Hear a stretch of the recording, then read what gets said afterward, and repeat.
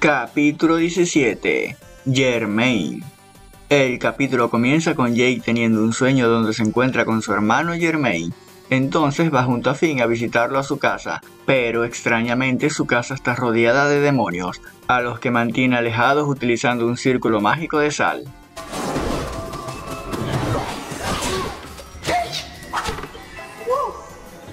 llegaron muy rápido. ¡Corran! ¡Vayan detrás de la barrera de sal! No atraviesan el círculo. Está hecho de la vieja sal bendita por un chamán bañada con saliva de papá. Germain vive en una casa llena de objetos extraños y valiosos que su padre robó o coleccionó, y se dedica a cuidarlos y protegerlos de los demonios que quieren recuperarlos. También debe mantener encerrado a un monstruo azul llamado Bryce. Te descuidas, Germain. No, claro que no. Se te va a pasar la alarma un día y te voy a comer desde abajo para que puedas verme mientras te como. Luego, en mi triunfo, recuperaré el póster que tu papá me robó. Bryce, yo puse el póster justo ahí. ¿Sigues molesto por eso? ¿Te atreviste a usar taquetes en mi póster? ¡Lo vas a pagar! ¿Sabes, Bryce? Te hubiera dejado ir con tu póster hace años y dejaras de decir esa cosa de desde abajo. ¿En serio? Sí, viejo. No quiero voltear esa cinta todo el día. Es tu pleito con Joshua porque no podían dejar de discutir por ese póster. Bueno, pues entonces seamos amigos. Que no, jamás confiaría en ti después de todo lo que dijiste. Como Germain mantiene una rutina muy pesada debido a las tareas que tiene que hacer en esta casa, Jake le prepara arroz para animarlo. Y cuando Germain le pregunta de dónde sacó la sal para hacer el arroz, Jake le responde que utilizó la sal del círculo de afuera. ¿De, ¿de dónde sacaron la sal, Jake? Usted de la que estaba tirada allá afuera. ¿Por qué? por favor, viejo. Así que por culpa de Jay, un demonio entra en la casa y trata de recuperar sus cintas, pero Germain lo atrapa con una aspiradora y luego Germain se enfada con Finn y Jay por su estilo de vida y les confiesa su envidia y su frustración porque él tiene que quedarse todo el día cuidando los tesoros de su padre y ataca a Jake en el proceso. ¿Crees que no quiero la vida en la casa del árbol? ¡Ni siquiera tengo sal! Jake le dice que él no tiene que quedarse en la casa si no quiere, y como durante la pelea lanzó varios objetos, termina provocando un incendio que consume la casa. Por supuesto, Finn trató de convencerlo de que apagaran el fuego, pero fue el propio Germain el que decidió dejar que la casa se queme, y se reconcilia con Jake, dándose cuenta de que los años que pasó ahí no valieron la pena. Está incendiando. Si ya dejaron de ser los hermanos enojados, hay que trabajar juntos. Germain, ¿vas a dejarme esperando? Que se queme.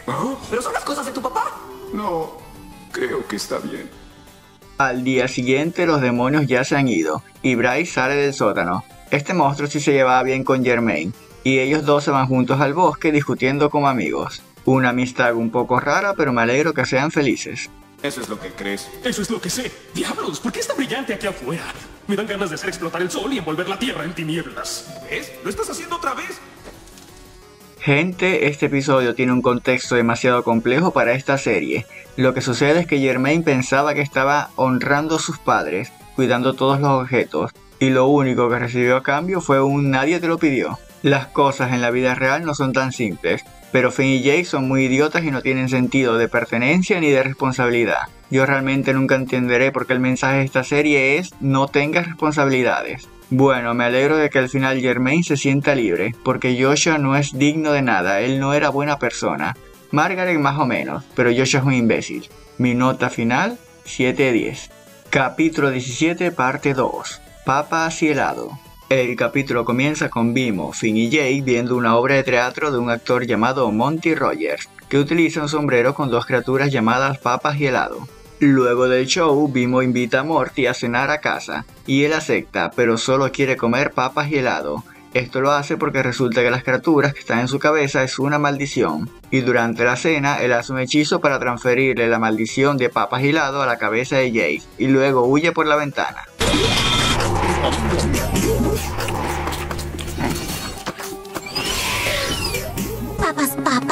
Helado. ¡Funcionó! ¡Soy un oso libre! A lo largo del capítulo vemos que estos dos seres solo dicen sus propios nombres, cosa que molesta a Jake. Son como dos Pokémones. Mientras tanto, Bimo se hace su amigo y descubre que ellos realmente están hablando un idioma. Curiosamente, también vemos que Morty extraña a papas y helado, hasta el punto de que se vuelve loco tratando de olvidarlos. Rayado es helado. Helado.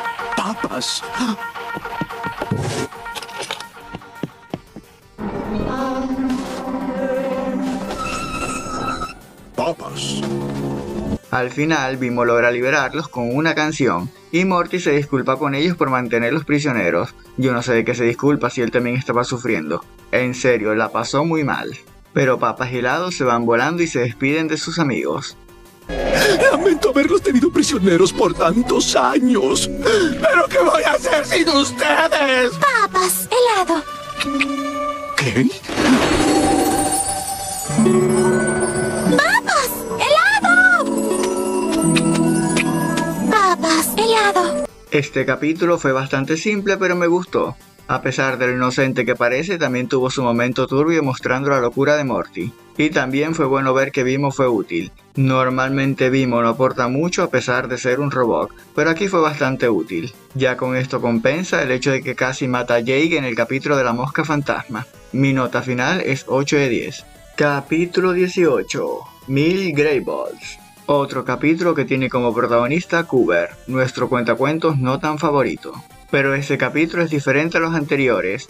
Digamos que este capítulo se divide en dos líneas de tiempo. Una que sigue las aventuras de Cooper y otra que nos muestra varios Grey Balls, que para el que no lo sepa todavía son los pequeños prismas que nos muestran pequeñas historias de los protagonistas de la serie. En la línea de tiempo principal, Cooper escapa de unos alienígenas enojados, que lo persiguen por arruinar su boda espacial. Entonces una nave espacial se estrella en la Tierra, que está en ruinas y ha cambiado mucho desde la época de Finn y Jake, porque recordemos que Cooper viene del futuro. Durante la persecución, Cooper utiliza una varita mágica que puede materializar lo que piensa, pero solo logra crear un sándwich gigante que lo lanza por el aire y hace que su pierna se rompa al caer. La historia es un poco random, así que para no hacerles el cuento tan largo, Cooper logra evadir a sus perseguidores y regresa a su nave. Un final feliz para él, pero resulta que en este capítulo Cooper es una muy mala persona, como todos en esta serie porque como ya dije, lo estaban persiguiendo por arruinar una boda.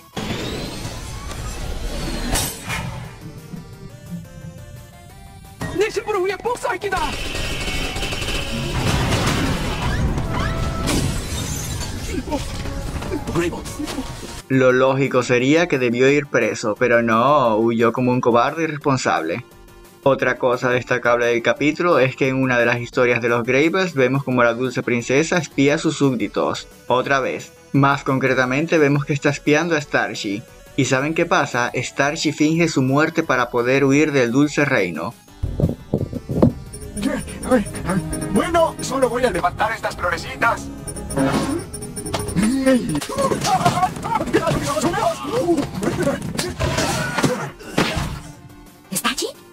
¿Stachi acaba de morir? Algún día se darán cuenta todos de que la dulce princesa es mala. Otro detalle destacable que vemos en el futuro es a una versión mutante del rey helado.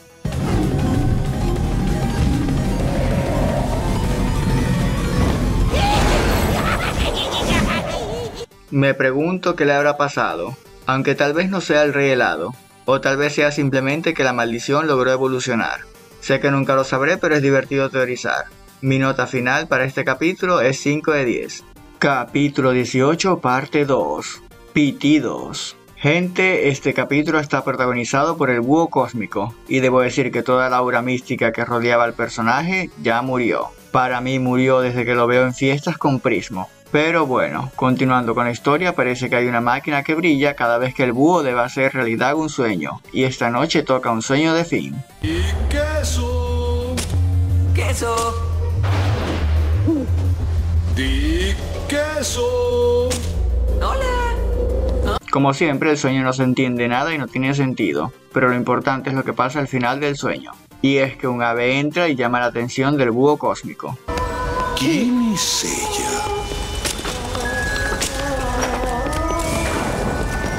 Es tan hermosa. El sueño premonitorio de Finn no tiene relevancia en este capítulo.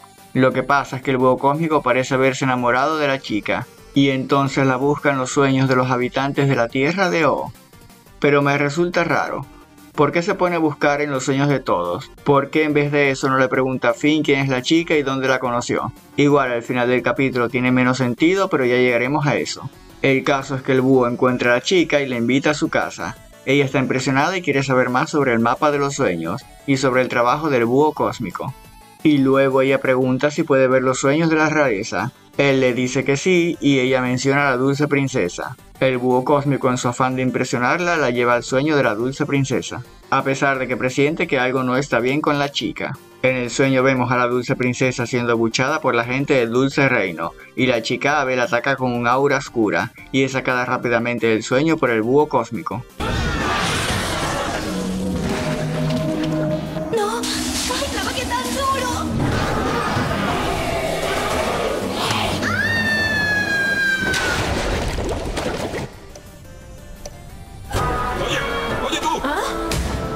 ¿Tienes idea de lo que has hecho? Luego viene la parte más sin sentido del capítulo, porque la chica se despierta revelando que en realidad es Gunther. Despertar. No, no, yo. ¿Gunter? Ay, el bebé tuvo un mal sueño. Gente, no entiendo nada. Empezando por lo que ya dije al principio. ¿Qué hacía esta chica en el sueño de Finn si Finn ni siquiera la conoce?